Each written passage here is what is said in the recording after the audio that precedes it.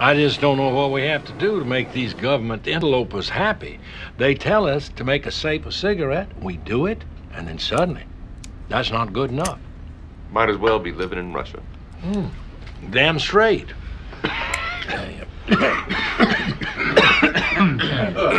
you know, this morning I got a call from our competitors at Brown and Williamson, and they're getting sued by the federal government because of the health claims they make. Yeah, we're aware of that, Mr. Garner. But you have to realize that through manipulation of the mass media, the public is under the impression that your cigarettes are linked to certain fatal diseases. Manipulation of the media? Hell, that's what I pay you for. Our product is fine. I smoke them myself. My granddad smoked them. Mm. He died at 95 years old was hit by a truck. I understand. But our hands are tied. We're no longer allowed to advertise that Lucky Strikes are safe. So what the hell are we going to do? We've already funded our own tobacco research center to put this whole rumor to rest. And that's a very good start. But it may not affect sales. Don, I think maybe that's your cue. Well, uh, I have been uh, thinking quite a bit about this. And, uh,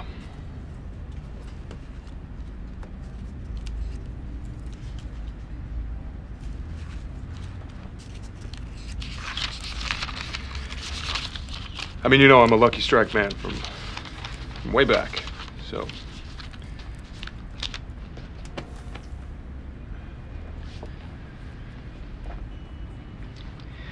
I might have a solution. At Sterling Cooper, we've been pioneering the burgeoning field of research. And our analysis shows that the health risks associated with your product is not the end of the world. People get in their cars every day to go to work. And some of them die. Cars are dangerous. There's nothing you can do about it. You still have to get where you're going. Cigarettes are exactly the same.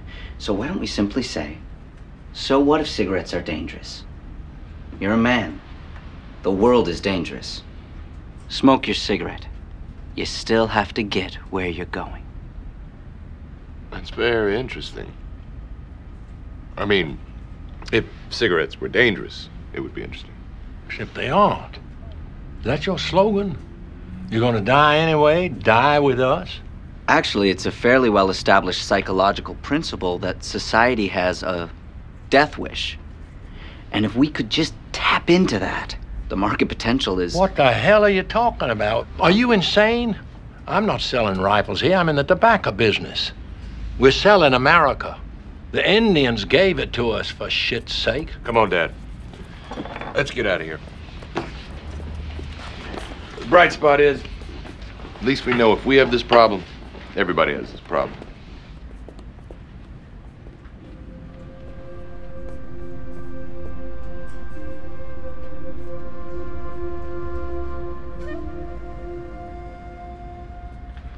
Gentlemen, before you leave, can I just say something?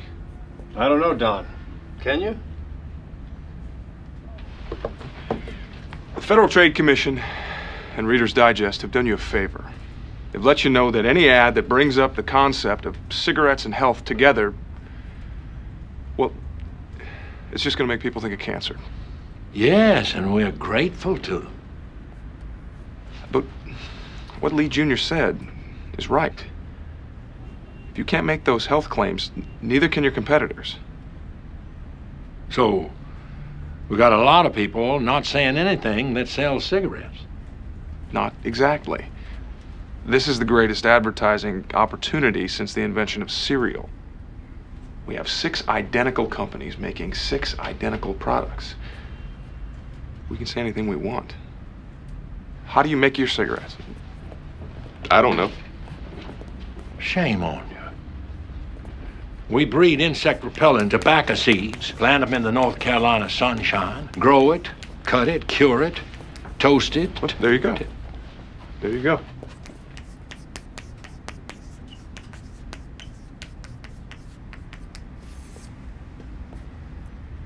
But everybody else's tobacco is toasted.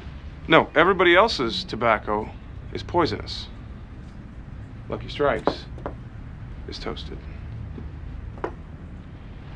Well, gentlemen, I don't think I have to tell you what you just witnessed here. I think you do. Advertising is based on one thing happiness. And you know what happiness is? Happiness is the smell of a new car. It's freedom from fear. It's a billboard on the side of the road that screams with reassurance that whatever you're doing, it's okay. You are okay.